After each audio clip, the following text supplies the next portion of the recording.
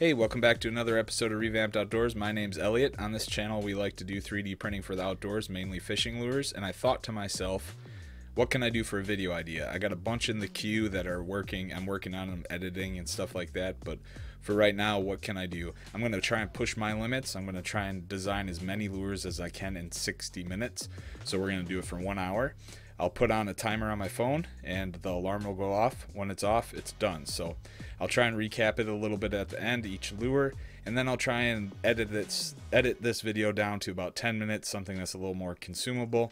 And then I'll also put a link down below for the unlisted video where I'll just put up all six 60 minutes of it, the full hour, if that's something you want to see, kind of the intricacies of each bait and stuff like that. So I'm going to shoot for as many as I can. Don't know how many that's going to be. Hopefully it's going to be a decent amount and hopefully this will turn into something entertaining and I won't just get frustrated storm off in the first 20 minutes. So we'll see. The first two I'm going to kind of cheat on a little bit. They're going to be from Instagram uh, suggestions that I got from an Instagram user. Um, but after that, I'm just going to wing it. I haven't sketched anything out. I'm just going to take it all off the top of my head what comes out comes out. So kind of like more of an artsy video, but we'll see what happens. So I'm to get comfortable here. I'm to lower my chair a little bit. That's really low. That's all right though. I think it'll still be fine. We'll still be all right. He's got the mark here for three inches. So I'm to go back into my canvas.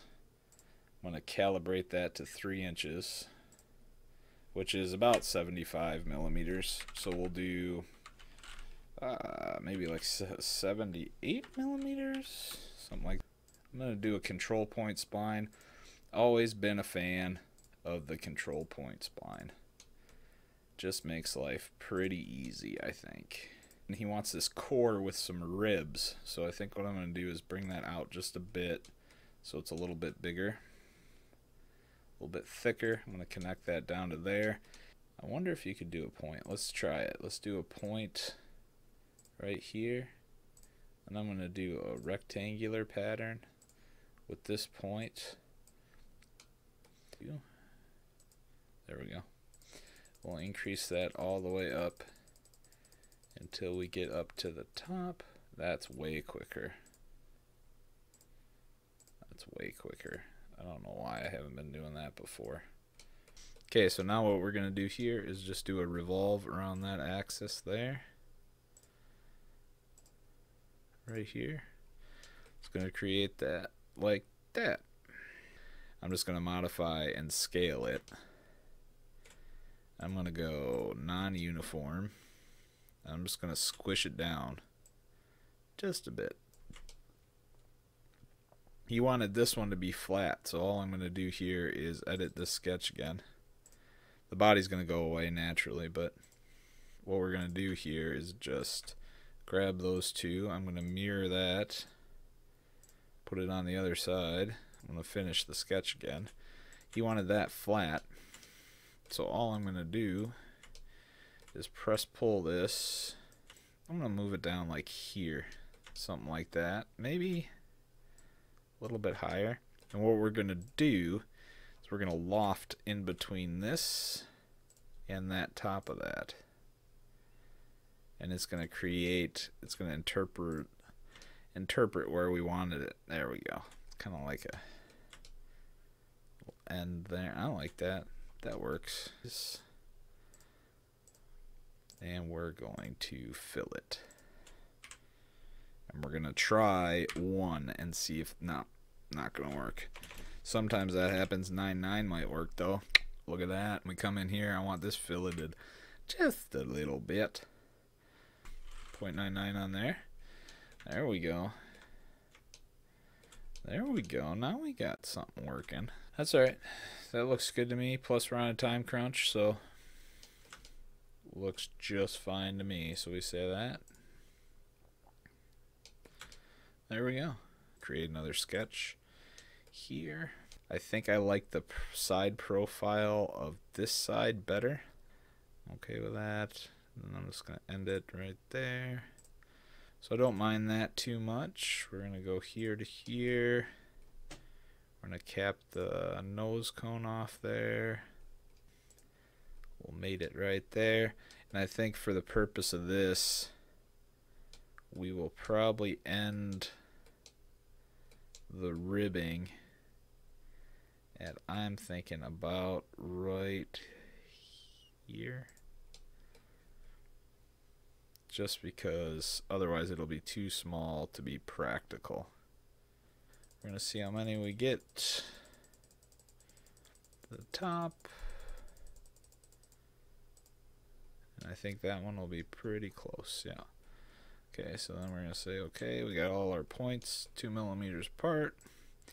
We're going to come in and we're going to hope that the computer doesn't take forever to do these ones. Oh, look at that. And every time. It's like he actually sketched it out or something. So we're going to use that as also on there. We're going to revolve that around this axis. And we have our body.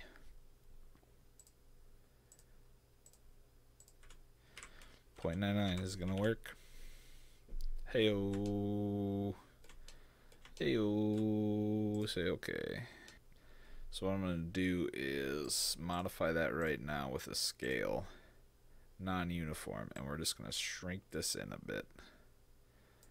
I don't know about that much. That seemed a bit excessive. So something just like just about like that. Okay, and then this is a little weird, I know, but bear with me here. What I'm going to do is I am just going to use this as a cut tool. And it's just going to be symmetric on there. Like that. Uh, move this one to this. So I'm going to do a sketch on that again. There we go. I don't like that either. Let's go 13 I like that a lot. So then there we go. We got that right there. I'm thinking we need a little bit bigger. What do you guys think? Leave a comment down below. Bigger, smaller on this? I'm going to go bigger. I'm going to go 18. Oh yeah. I like bigger paddle tails. Okay, now that's easy now. Now that's just a function of, hey, check this out. We got an ellipse on this surface. We just pull it out three millimeters. Three millimeters is always good for a tail, I found. I don't know why. I'm going to join that now. Then we're going to hit this side and this side with a with the fillet, and it's going to be 1.5 to make it round. There it is. Then it's going to meet up on that one too. Ooh, doggy. Look at that. I think that might be a good bait. So uh, now we're starting off from scratch here. Now we're just starting off from uh, what's in my head. I don't know what I'm doing here. I don't even know. What are we doing? Let's design a crawfish. Let's do a craw. I love craws. I want to make a similar craw to the one I've done in the past, but we'll do a little smaller this time. So we'll go like 2.3. Here's the crazy part about Fusion, right? You want this ball to be everywhere. Too bad. Not getting that ball to go everywhere. This is not happening. Here's what we got to do. We got to go through a convoluted deal. I revolve that into a sphere. Stay with me now. Stay with me now. The reason I do that is because Fusion will let you do a pattern on a path with a body. It'll let you do it with a body,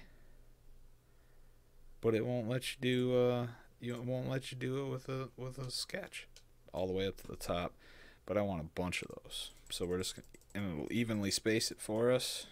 Create another sketch, right, right meal.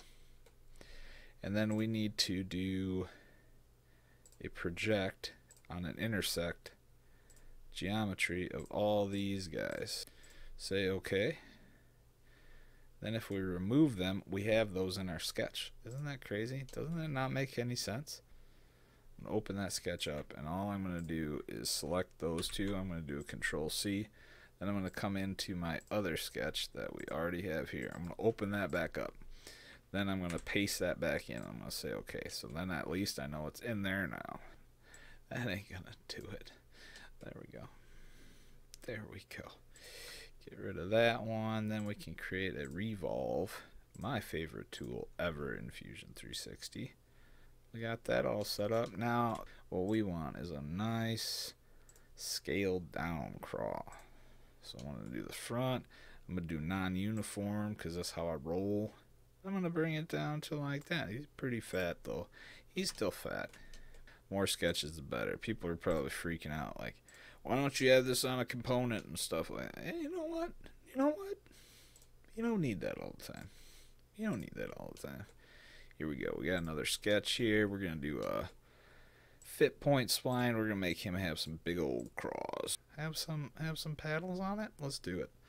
Let's make some paddles, huh? We're getting a little fancy here on this, but that's all right. We'll, we'll it'll be all right.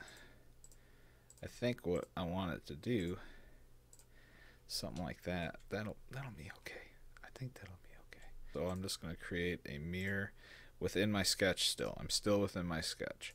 I'm gonna do a mirror like that. So then I got two halves. You press pull this up. We're gonna do a symmetric. Uh, like I said before, I really like three millimeters Oh, jeez. Yeah, but it's symmetric, so I really like three millimeters. Uh, just seems to work really well. So I'm gonna do three millimeters there. So we'll do 3.5. That'll make those go up about two, uh, two above that because it is one and a half from that area.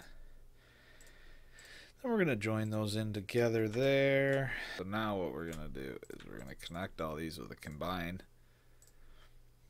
we're going to join. We're going to go, we could go into here and do all of these, which I guess we'll do because we are making a bait. There we go, 0.6 there. We got two meeting up. Big old, big old craw. Real quick here. I don't have that much time yet. So let's do a real easy like grub style bait. Do something like something like that. 0.5 circle. Let's see if we can't get that to work because it's straight, right? So let's see if we can't get that to work with this. Because we have this already set up. So if we do it like that, no, There we go. We can. That freeform select, boy. I tell you what. Frustrating. Create a revolve. Look at that.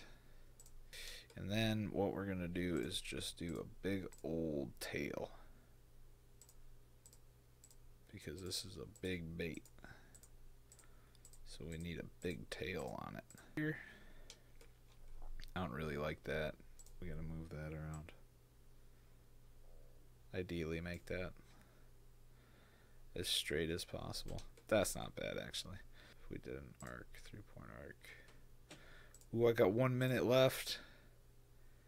Ooh, I got one minute left. Ooh, that's a tough one. Down something a little bit more like that. It'll work. Oh. Oh. I want to finish this one. And I know that seems weird, but just trust me on it. It'll make sense in a second. I'm to press pull this. And the only reason I'm doing this is to get my face plane here to create a sketch. And the only reason I'm doing that is to do this tiny little one right here. That's the only reason. And it'll make sense in a second, I promise.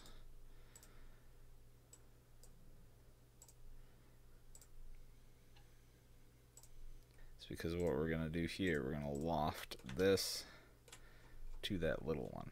Yeah, yeah, yeah, yeah. Then we're going to join this. See how that worked out?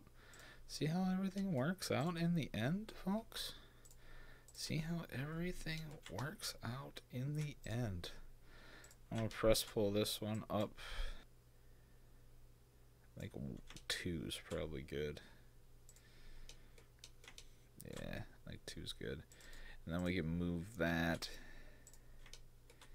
down into this like that. Oh, snap. Cool part about Fusion too is I don't really like this bend at all here. You know? So I'm just going to go in there. I want to mess with this. Oh, yeah. Much better. That's what I'm talking about. There. Now what we can do is do this number. Modify combine. Right? Right? Am I right? Am I right? And then all we have to do here is hopefully do this and see what happens. Oh, like a boss. If we do one, what happens? Nope, freaks out. Bet you if we do that, though, it'll work. Hey, oh. And then boop. And then boop. Yeah. So just to recap here, this is the Kata Ned rig that we did first. Um, I'm not quite sure if I should have uniformly spaced that uh, or changed the body around a little bit, but that's all right. Mostly a straightforward design, nothing too crazy here, just knowing to split that up at kind of where you wanted to go. It always does help to have a canvas, which is really nice, and he did have uh, some measurements in there, so it does aid in the design quite a bit. So, uh, as far as design goes, only thing I would really change on this is maybe make it a little bit sleeker, or maybe make it a little bit smaller. Uh, that's why I tried to shrink it down a little bit uh, sideways, so it's more of a fusiform. But overall, I'm sure it'll have great action. Uh, it's pretty difficult to make this work, I think, in a mold. You're going to need a lot of sprue holes here. Uh, you'll probably get some denting on the top, but, uh, you know, hard designs never stopped anybody before, so definitely can do it. They make tons of those, like the rib worm and everything, so it's definitely possible. Next one uh, did was the swim bait version of that. So this is kind of his idea is having these ribs here. So uh, made that a little bit more fusiform. Put a big swim bait uh, paddle tail on there, round tail, so it's got edges on both sides.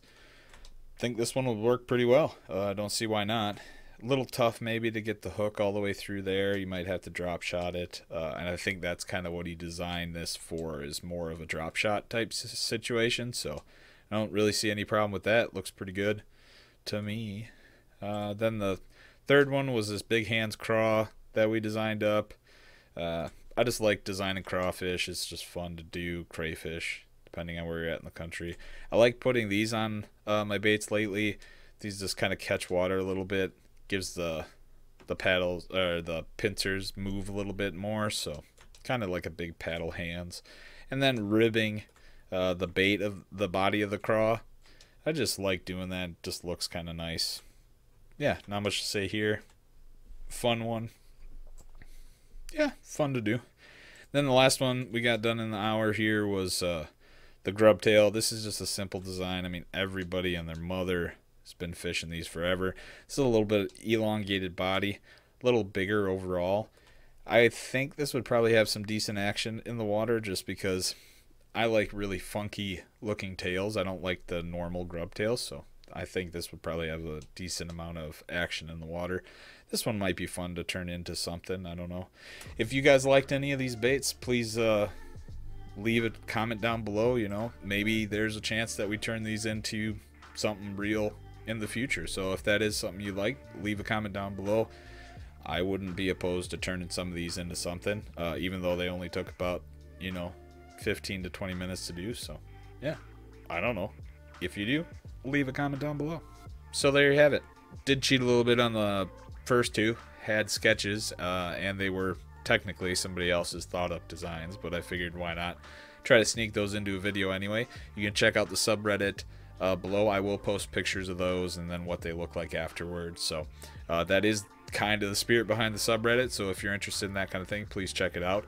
Would appreciate it. Just started that a little while ago. I think it's kind of cool to interact with the community. Already got people posting stuff on there that blowing my mind, doing really cool stuff, uh, making really cool molds out of silicone and stuff. So I'm just glad to see that we're kind of coming together as a community. It's pretty cool. So I thought, why not uh, put a little bit designing out there in the in the space again because I haven't done that in a while. So hopefully you enjoyed it. If you did, please leave a like. Uh, maybe consider subscribing. love to have you. Check out all this other social media I got. No problem there. I'm posting all the time on that stuff. So if I'm not posting on here, I might be there. Um, and yeah, so it's winter.